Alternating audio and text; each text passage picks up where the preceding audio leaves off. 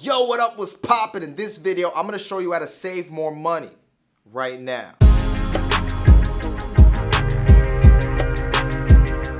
Now, people tell me I'm a frugal dude, that I don't like to spend money on a lot of unnecessary things. Kind of get that reputation. So I figured I would give you a few tips to help you save more money and stop taking people out on dates to the McDonald's dollar menu. Now, number one, I want you to build some emergency funds and I want you to download two apps. One is called Digit and the other is called Acorns. Now, first, let's talk about Digit. Now, Digit is an app that you can connect to your bank account and every single day, it analyzes the amount of money you have in your bank account and withdraws a small amount and saves it in a fund for you. Like you don't even notice it. But what's cool is from time to time you can check the app and you can see how much you've saved. And you'll be like, oh snap, that's crazy. The second app I want you to download is called Acorns. Now I found this app by watching The Breakfast Club. It was an interview with Stacey Tisdale. It was an interview, a really insightful interview about making money, saving money, being smarter with your investments. I'll leave a link to that in the description box down below. Now, how Acorns works is after you connect it to your bank account, your debit cards, credit cards, whenever you spend money from one of these cards, like Digit, it will invest that money also. However, this is how it works. It will round up to the nearest dollar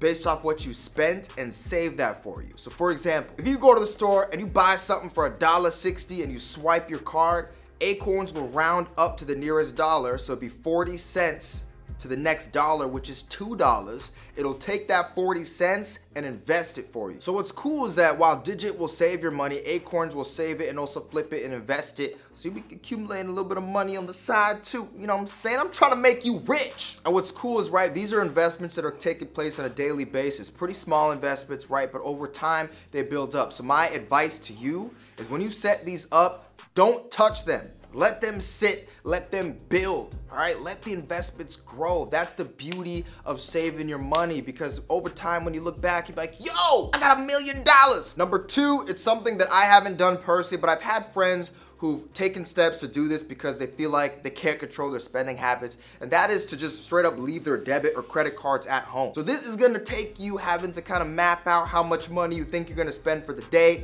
pull out that cash, and then leave everything else at home. The benefit of this is that if you don't have the access to all the money in your bank account, you can't spend it. Amazing. Like you literally cannot withdraw money even if you try. So try it out. Try only bringing the amount of cash on you, you predict you're gonna spend for the day. Thanks for taking me out on this date. No problem. It's on me. Date's on me. Oh, check? Thank you, sir. Appreciate it.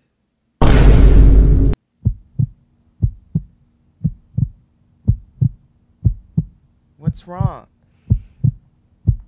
The bill is $300. So?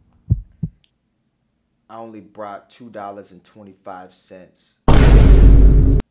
What? Who do you think you are? You gotta be out of your mind. I swear, it's men like you. You be showing up to dates with no money. money. Like I just hell trying no, to pay I was watching the Josh O show. Number three, one crucial thing you should do is address your spending habits. So block some time in your calendar to sit down and make yourself aware of what you like to spend your money on the most. Do you eat out a lot? I'm guilty of that, honestly. do you eat out a lot? You know, do you buy a lot of material things that you don't really need? You buy a lot of shoes, you buy a lot of clothes, whatever it is. Map that stuff out and make yourself aware of what you're spending money on. Then be honest with yourself. Do you really need to be spending your money on all of these things? Because if you really think about it, right, outside of food and your basic necessities like water, maybe rent, you know, electricity, internet, things you actually need. You don't really need to spend money on much else. So look, in my opinion, if you're spending all your money on all these fancy clothes and everything and you don't really have that much of a budget to be doing that on a regular basis, you're gonna need to address that. In fact, if you wanna know what I really think, I think dropping a lot of money on a bunch of name brand clothes and everything is kind of a waste of money. As I got older and I got into college, I was talking to my dad. I wanted to buy some, some clothes for, college. I wanted to look cool. My dad kept it real with me. He's like, Joshua, no more name brand for you. My, uh, why? Why, Dad? Because there's no brand that is bigger than yourself. So now that I'm older, all the clothes that I wear, you, are not gonna see like name, like name brand, like stuff across my chest and like. In fact, if I'm gonna wear a logo of some sort, it'll probably be a hat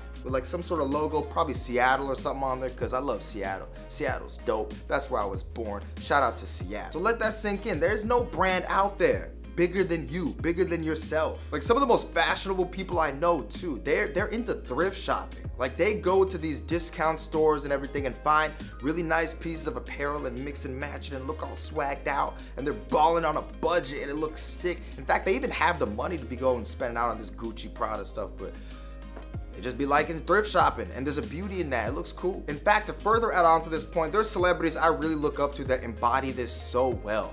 Two of my favorite rappers, J. Cole, Kendrick Lamar. Those dudes are millionaires.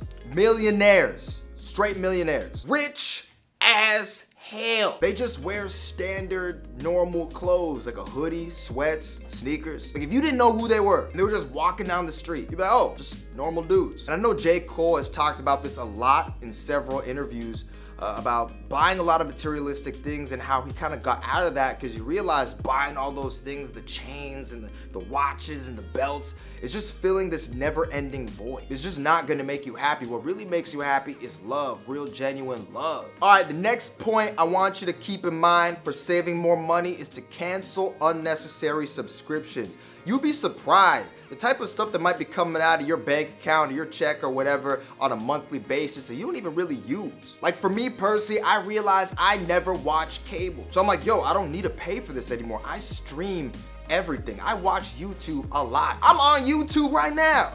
Yo, I even went as far as canceling my Netflix for a little bit. So really stop and think about your monthly subscriptions and whether or not you really need them. Yo, thank you for watching the video. Uh, you are amazing. I can't believe this. You made it to the end. You in the cool kids club. What's poppin'? You know what you need to do next? Yo, you need to click over here for more dope videos. More dope videos.